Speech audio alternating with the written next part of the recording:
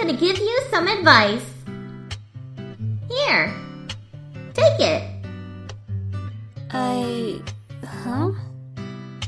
What's this for? To wipe yourself.